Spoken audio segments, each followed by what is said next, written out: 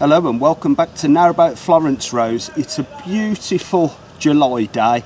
I'm here on the Grand Union Canal and I thought to myself, I've got some bits of spare wood and if you notice the box in the background, I've been making myself some roof boxes so I thought for the second one I'll do a bit of video and show you how I'm doing it. Um, I am using different bits of wood from the wood that you can see behind me but it won't make much difference anyway because I'll be staining and maybe doing a top varnish or I might even paint them.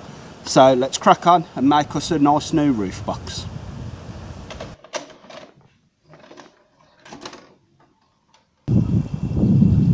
Right then, got all my wood. I'm going to measure it out because we're doing it so it's basically 67 inches long and 40 inches wide.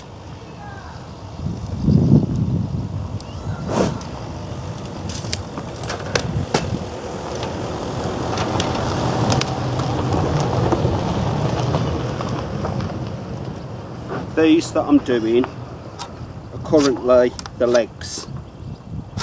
So I'm obviously going to need four of these. Let me measure that actually okay that's good. So we'll get two legs out of this one because the wood that's going on the top so you imagine the slat and a slat they're both four inches.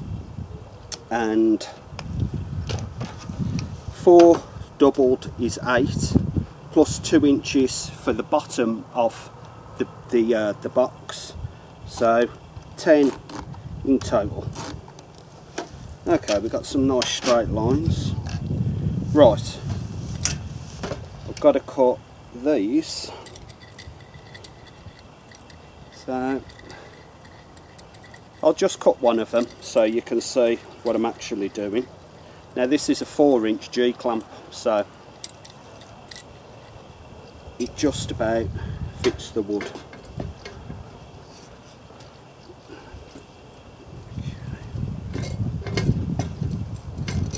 Oh, well done.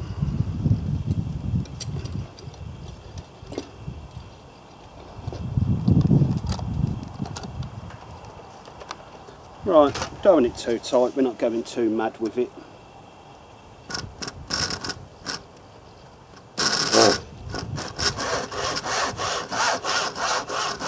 Get a nice straight line.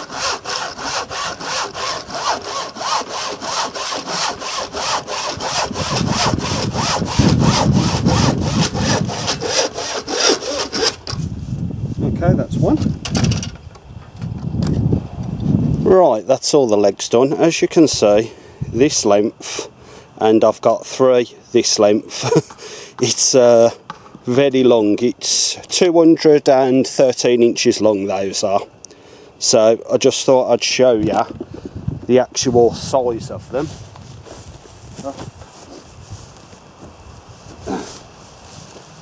Ground over here is really uneasy, so you have to watch what you're doing.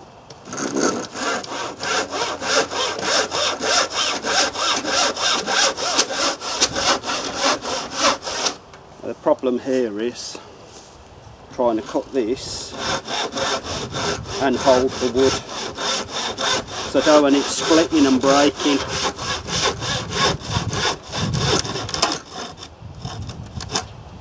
Okay. Okay so we've measured it up. I'm going to move it down slightly. There we go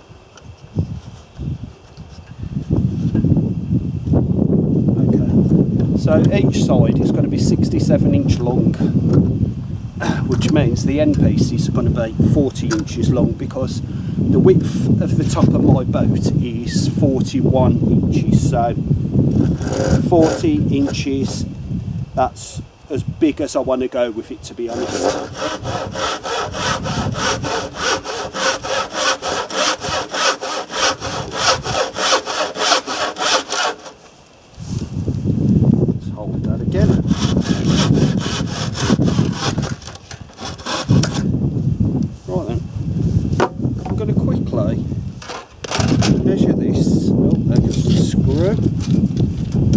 See what we've got. Right. Got another 67. So I'm going to get three out of this piece, I think. So I'm going to cut this one. I'll cut the next one so we've got four sides and then we'll carry on with the rest. Right, as you can see, we've got the side, we've got one end piece in, so I'm going to make a pilot hole for this side. Can get that about, about there, I think.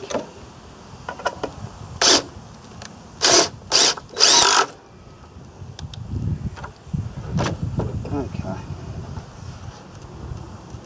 Right, let's have another pilot hole.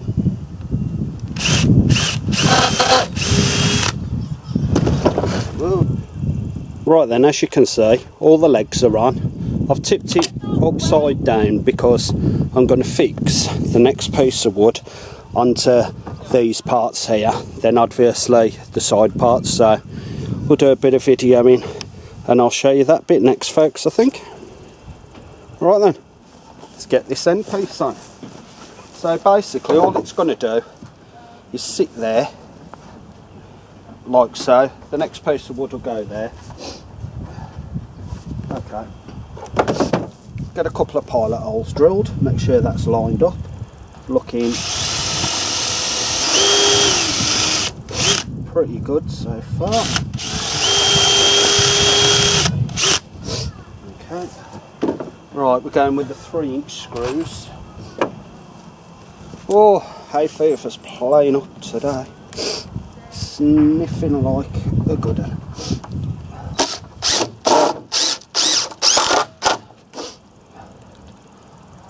Okay. Whoa, messed that up because that's rocking around. Lovely job, Blake. Right, let's do this side.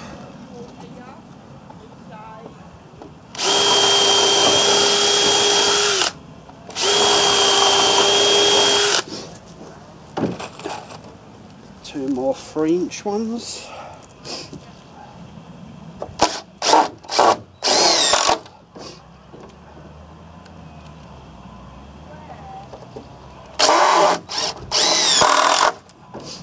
Lovely job, jubbly. Oh, hold on. Something crawling in my ear.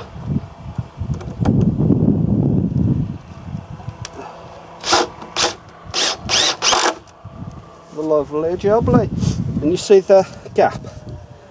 That's the two inch feet because that's going to sit on the bottom. So that's plenty of room that is. Brilliant that is. Right.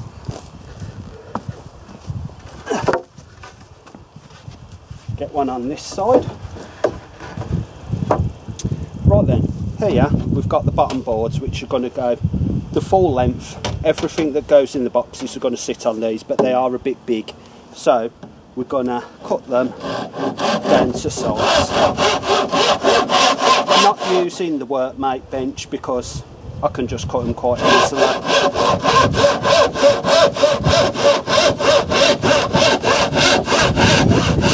Right, I've brought some smaller screws over for this.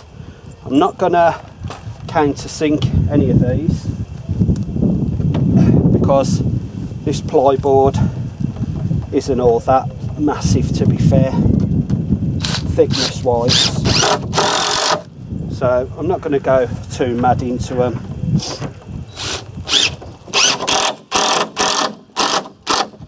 Oops, okay.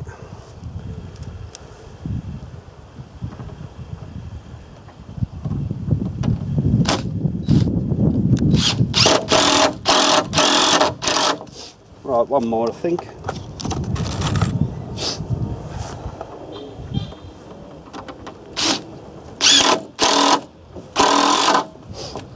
Lovely jubbly. Right, four for the other side now. Right then, bottom panels are on. I've put a centrepiece in the middle just to keep it all upright. Now this is going to waggle about a bit because the ground is extremely uneven over here. Now of course it is upside down. Once it's on the boat I'll give you a better look at it.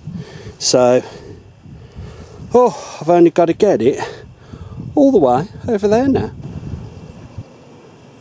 Right then, that is the finished result.